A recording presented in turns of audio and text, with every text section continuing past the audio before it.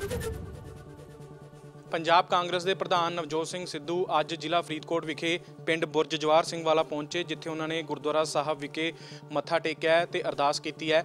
ਉਹਨਾਂ ਨੇ ਬੇਅਦਬੀ ਮਾਮਲਿਆਂ ਦੇ ਵਿੱਚ ਇਨਸਾਫ ਦੀ ਗੱਲ ਇੱਕ ਵਾਰ ਫਿਰ ਕਹੀ ਹੈ। ਉਹਨਾਂ ਨੇ ਕਿਹਾ ਕਿ ਜਲਦ ਇਹਨਾਂ ਮਾਮਲਿਆਂ ਦੇ ਵਿੱਚ ਇਨਸਾਫ ਮਿਲੇਗਾ ਔਰ ਨਾਲ ਹੀ ਉਹਨਾਂ ਨੇ ਕਿਹਾ ਕਿ ਵਾਹਿਗੁਰੂ ਆਪ ਹੀ ਬੇਅਦਬੀ ਦੀਆਂ ਘਟਨਾਵਾਂ ਦਾ ਇਨਸਾਫ ਕਰਨਗੇ। ਸਾਨੂੰ ਇਸ ਦੇ ਲਈ ਅਰਦਾਸ ਕਰਨੀ ਚਾਹੀਦੀ ਹੈ। ਅ, ਸਾਲ 2015 ਜੂਨ ਮਹੀਨੇ ਦੇ ਵਿੱਚ ਬੁਰਜ ਜਵਾਰ ਸਿੰਘ ਵਾਲਾ ਗੁਰਦੁਆਰਾ ਸਾਹਿਬ ਤੋਂ ਸ਼੍ਰੀ ਗੁਰੂ ਗ੍ਰੰਥ ਸਾਹਿਬ ਦੇ ਪਾਵਨ ਸਰੂਪ ਚੋਰੀ ਹੋਏ ਸੀ, ਜਿਸ ਤੋਂ ਕੁਝ ਸਮੇਂ ਬਾਅਦ ਅਕਤੂਬਰ ਮਹੀਨੇ ਸਾਲ 2015 ਦੇ ਵਿੱਚ ਬਰਗਾੜੀ ਵਿਖੇ ਸ੍ਰੀ ਗੁਰੂ ਗ੍ਰੰਥ ਸਾਹਿਬ ਜੀ ਦੇ ਪਾਵਨ ਸਰੂਪਾਂ ਦੀ ਬੇਅਦਬੀ ਹੋਈ ਸੀ।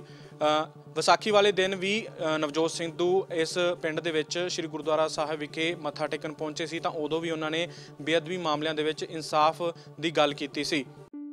ABP ਸੌਂਚਾ ਜੋਸ਼, ਜਜ਼ਬਾ, ਜਨੂਨ।